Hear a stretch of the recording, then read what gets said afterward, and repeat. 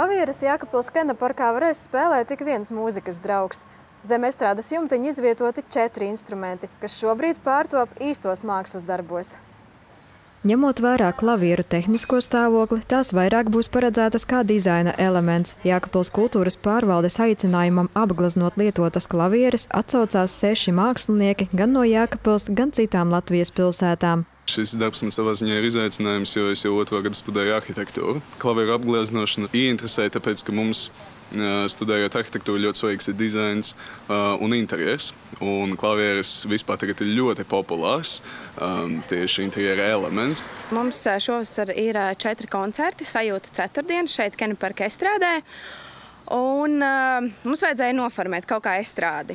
Un tad, uh, konsultējoties ar pilsētas mākslinieku Jānu Vagoliņu, mēs tā kā uh, ģenerējām kaut kādas idejas, un beigās viņš atsūtīja savas, savas ieskatus. Un beigās kā pēdējais teikums, kā pēdējā tāda ideja bija, bet varbūt varētu kaut kādas apgleznotas klavieres. Es izvēlējos gleznot gorgoni medūzu. Uh, Jo man tas liekas ļoti interesants tēls, un es patiesi koncentrējos uz portretiem. Es vēlos savā ziņā ieinteresēt cilvēkus glezniecībā kā tādā, bet arī Mm, pati medūza man liekas tāds ļoti interesants tēls, kas pirmkārt pievērš uzmanību. Nu, galvenais nu, lai cilvēks sāktu aizdomāties, vai lai cilvēks pamana. Tas ir pirmkārt. Un otrkārt, uh, nu, interesēt mitoloģijā un glezniecībā kā tādā.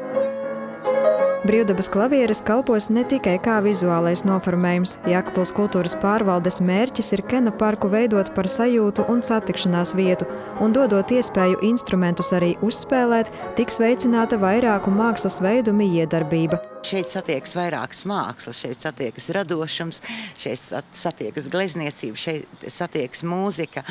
Un, uh, varbūt uh, cilvēki vakaros varēs atnākt un kaut ko radīt arī savu šeit. Tomēr klavieres nav piemērotas profesionālai muzicēšanai. Tās arī nav paredzētas skaņot. Bērniem, kuri nav redzējuši klavieres un grib iepazīt šos instrumentus, tas ir diezgan labi.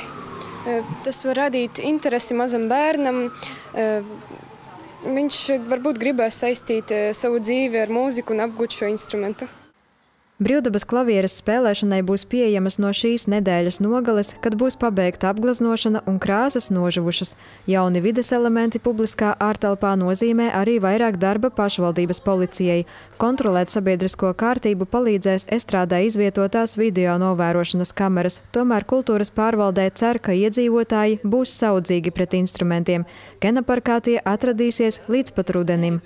Sandra Pēgiļkalne, Kaspars Daņļevičs, Vidusdaugavas televīzija.